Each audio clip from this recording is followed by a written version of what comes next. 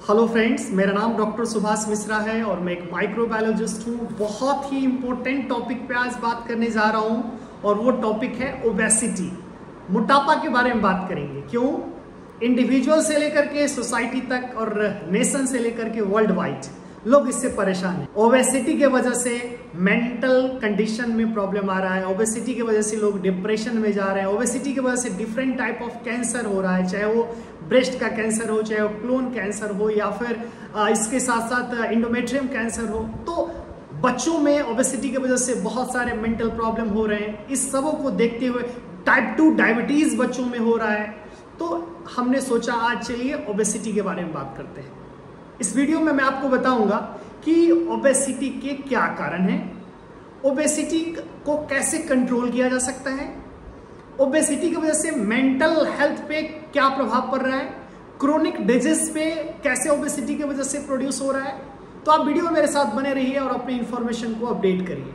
चलिए, सबसे पहले आपको बताते हैं कि ओबेसिटी से आपका परिचय कराते हैं। बॉडी के अंदर एक ऐसा कंडीशन जिसमें फैट का एक्यूमुलेशन हो रहा है टिश्यू के।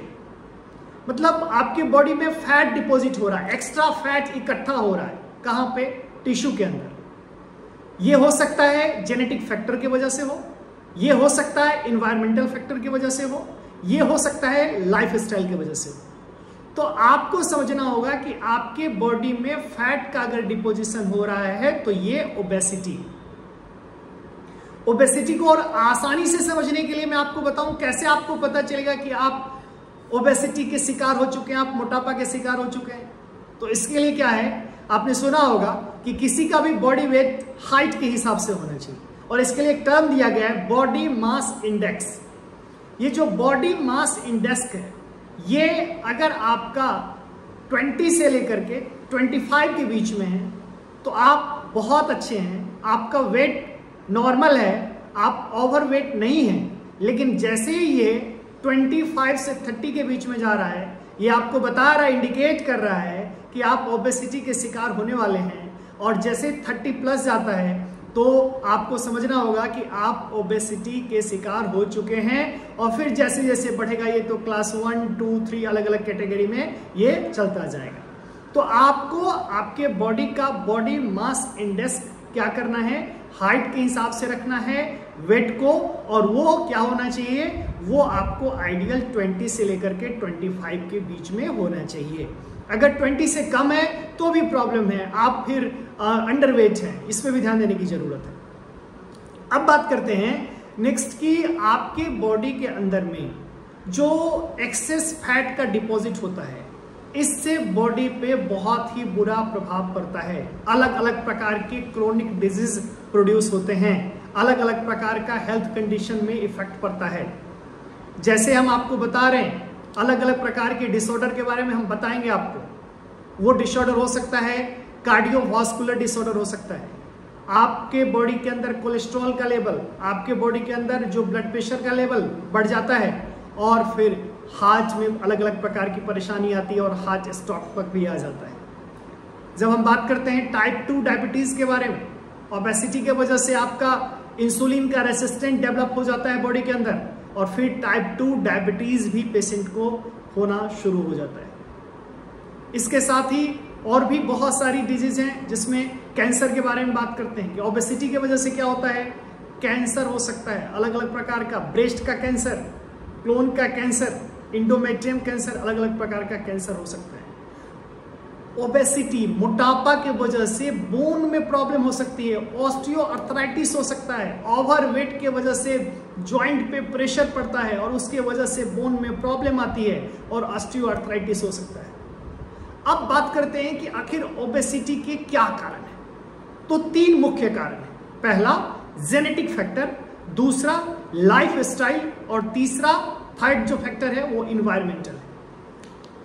जब हम बात करते हैं कि आपका जेनेटिक फैक्टर आपके जीन के वजह से हो रहा है, आपके बॉडी में जेनेटिक कुछ ऐसा चेंजेज हो रहा है जिसके वजह से ओबेसिटी हो रहा है. जब हम बात करते हैं लाइफ स्टाइल आपका खान पान बहुत ही इंपॉर्टेंट है. आपकी फ़िज़िकल एक्टिविटी बहुत इंपॉर्टेंट है. आपका हैबिट्स बहुत इंपॉर्टेंट है। आपका लाइफ स्टाइल के अंदर में, चाहे वो हम न्यूट्रिशन की बात कर रहे हैं, चाहे वो हम फ़ूड की बात कर रहे हैं, चाहे वो हम आपके जो डेली रूटीन है उसकी बात कर रहे हैं, ये सारी चीज़ कंसर्न है। लाइफ स्टाइल से जुड़ा हुआ है। इसके साथ साथ इन्वायरमेंटल फैक्टर क्या है?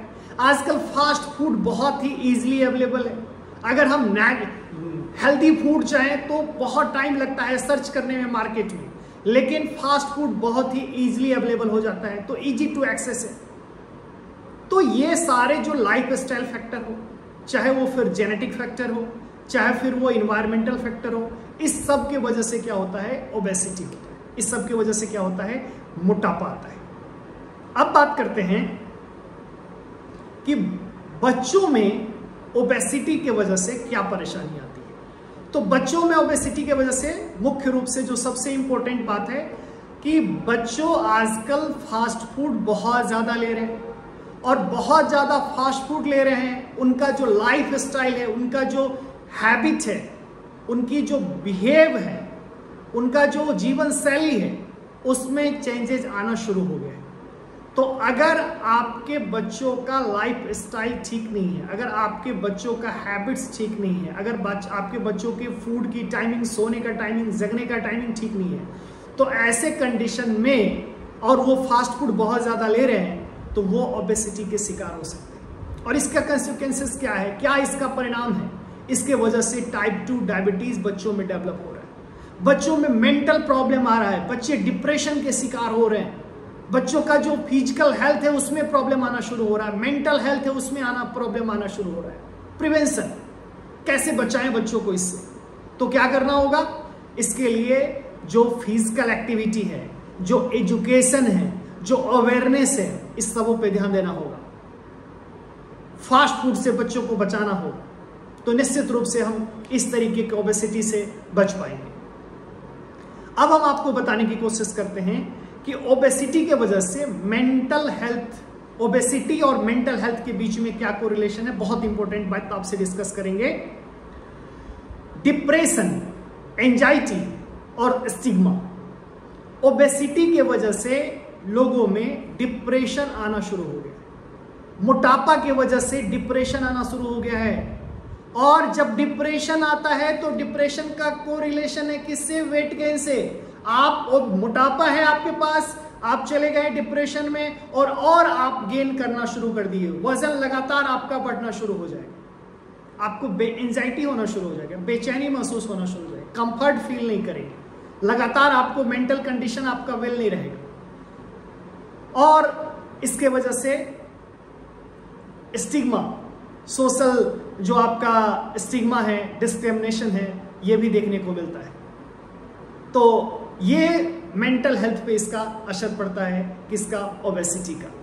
इसके साथ साथ हम बात करेंगे जो टाइप टू डायबिटीज़ है, जो कार्डियोवास्कुलर जैसे मैंने कहा था कि कोलेस्ट्रॉल का लेवल बढ़ जाना ब्लड प्रेशर का बढ़ जाना स्ट्रोक का आना, या टाइप टू डायबिटीज़ में मैंने कहा था कि इंसुलिन का रेसिस्टेंस होना तो इस सब के वजह से भी क्या है? अलग अलग प्रकार का प्रॉब्लम क्रिएट होता है बॉडी का हेल्थ पे इफ़ेक्ट पड़ता है। और जो कैंसर के बारे में मैंने कहा था कि कैंसर जो है, वो अलग अलग प्रकार के कैंसर प्रोड्यूस होते हैं। अब सवाल आता है कि अगर ओबेसिटी हो रहा है तो इससे हम कैसे बचें? तो चार मुख्य बातें पहली बात क्या है? सबसे इंपॉर्टेंट बात क्या है? हेल्थी ईटिंग है रेगुलर एक्सरसाइज है एजुकेशन है एंड कम्युनिटी सपोर्ट अपने खाने को हेल्दी रखें। जो हेल्दी फ़ूड है, उसका सेवन करें। फास्ट फ़ूड के सेवन से बचें। साथ साथ रेगुलर एक्सरसाइज करें फ़िज़िकल एक्टिविटी करें। एजुकेशन अवेयरनेस बहुत ज़रूरी है। इसके साथ साथ कम्युनिटी में भी लोगों को अवेयर करना बहुत ज़रूरी है। अगर आप इस चारों चीज़ों पर ध्यान देते हैं तो निश्चित रूप से आप ओबेसिटी से बच पाएँगे। इसके साथ साथ अगर ओबेसिटी हो गया है तो कई बार लाइफ स्टाइल मॉडिफिकेशन के साथ साथ मेडिकल ट्रीटमेंट लेने की ज़रूरत पड़ सकती है। कई बार सर्जरी की भी आवश्यकता पड़ती है, कई बार मेड मेडिटेशन के साथ साथ मेडिकेशन की भी ज़रूरत पड़ती है तो आप मेडिटेशन भी लें और मेडिकेशन भी। तो ये जो सारी चीज़ है, अगर इस सब चीज़ों पे आप फोकस करेंगे, ध्यान देंगे तो निश्चित रूप से आप ओबेसिटी से बच पाएँगे। देखिए ओबेसिटी कंक्लूजन क्या है? कि ओबेसिटी को कंट्रोल आप चाहेंगे, तुरंत कर लेंगे तो नहीं होगा। ये लॉन्ग टाइम मैनेजमेंट है। लॉन्ग टाइम मैनेजमेंट है। तो इस लॉन्ग टाइम मैनेजमेंट को करने के लिए आपको क्या करना पड़ेगा? सबसे इंपॉर्टेंट बात ध्यान देना पड़ेगा कि आपको वन डे एक्टिविटी नहीं डेली रूटीन की एक्टिविटी अपने खाने का, अपने सोने का, अपने जगने का, अपनी फ़िज़िकल एक्टिविटी का एजुकेशन का अवेयरनेस का, सब चीज़ों पे फोकस देंगे तो आप निश्चित रूप से मोटापा का शिकार नहीं होंगे और अपने बॉडी मास इंडेक्स को 20 से 25 के बीच में रखेंगे।